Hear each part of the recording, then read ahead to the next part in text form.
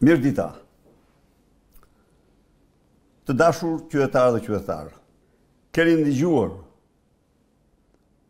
për bisedat me telefonat të kriptuar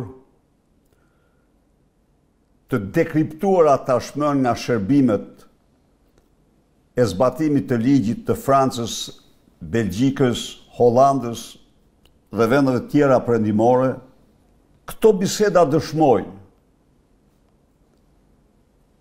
se në Shqipëri vrasësit serialë, ministrat, prokurorët, gjykatësit, Kryepolicët, policët, funksionojnë si një ansambël monstruoz krimi. Dua t'u informoj se kjo që keni ndëgjuar ju gjer sot, në dosjet Metamorfoza përfaqëson thjesht majën e atij ajsbergu gjigand mbi të cilin noton shoqëria, shteti dhe vetë Shqipëria. Miqtë e mi, të gjithë keni ndigjuar për aferën Toyota Yaris, Keni dëgjuar se këto ditë kjo dosje u dorëzue në gjykatë. Por, duhet ta dini, se kjo dosje është dorëzue e gjymtuar, mbasi personazhi më kryesor në Toyota Yaris pas trafikantëve, vjen ministri kriminel Taulant Balla. Taulant Balla është një vizitor i rregullt i hotelit të Alfred Vladit në Sarandë. Taulant Balla është Mburoja politike dhe përfituesi kryesor politik i trafikut të narkoeurove dhe drogës nga klani Toyota Yaris. Pasi u mbyll kjo çështje në mënyrën më korruptive nga organet e drejtësisë shqiptare, dosja u hap përsëri. Dhe aty dalin Jo vetëm Zarka, por dhe katër prokurorë të tjerë dhe gjykatës të implikuar një lloj sa Zarka dhe më shumë se Zarka në dosjen Toyota Yaris. Aty del Taulant Balla, njeri kryesor në këtë trafik. Mirëpo, të dhënat për Taulant Ballën, me bekimin e mercenarit Dumani i kanë përgjysmuar në dosje gjykatësja kriminale, kriminele me katër mbiemra, Irena Gjoka e tjerë e tjerë.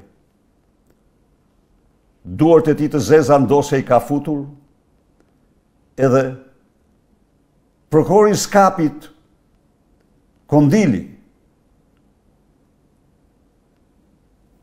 Por as falsifikimet dhe manipulimet e Gjokës,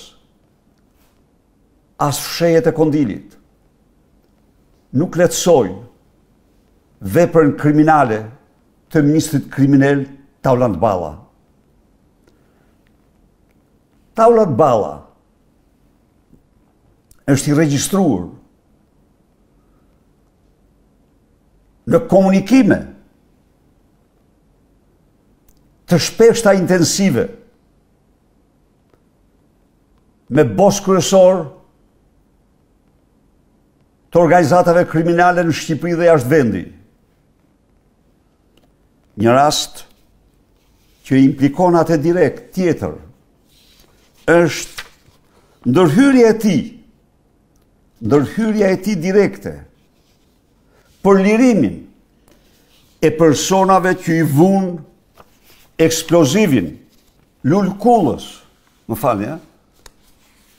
Taulant Balla ka marrë në telefon anëtarin e KLP-së, Vat Staka dhe i ka kërkuar të ndërhyjë në Shkodër për lirimin e kriminelëve që i vunë eksplozivin Lul Kullës, Lulzim Kullës. Dhe Vat Staka ka zbatu urdhrin dhe kriminelët janë lënë të lirë. Paratë e klanit të rrezikshëm Toyota Yaris kanë patur si destinacion edhe pronarin e kullës pas sahatit me mbiemër Abdia.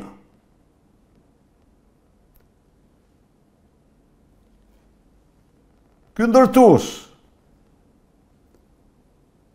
i lidhur si mishi me thoin me Erion Velinë,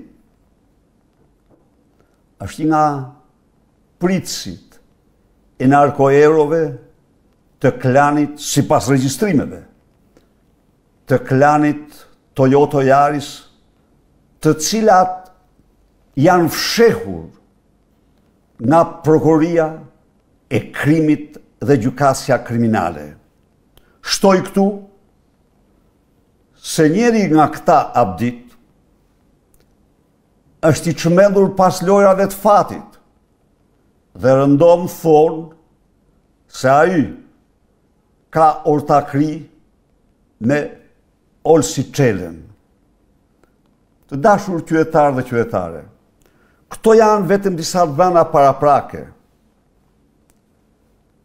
të cilat i ekspozova jo për të shuar kuriozitetin as për t'i përdorur për qëllime politike, por thjesht për t'ju informuar se se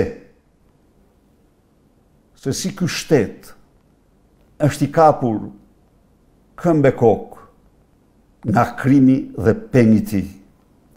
Krijimi i Komisionit të të Vërtetës është rruga e vetme për të bërë radiografinë në mënyrë që Dumanër, Gjoka, kriminelë, prokurorë kriminelë, gjykatës kriminelë, të mos mund t'i fshehin qytetarëve shqiptarë krimet e shëmtuara të deputetëve të tyre, ministrave të tyre, kryeministrit të tyre. Vetëm krimi i një komisionit të vërtetës që do të jetë pjesë integrale e programit të Partisë Demokratike. do mund të ndajë në mënyrë përfundimtare Shqipërinë nga bota e krimit shtetëror qeveritar të sotëm. Faleminderit.